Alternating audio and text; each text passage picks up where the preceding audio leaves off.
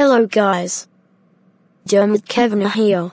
This is my new look for summer 2024. What do you think of it?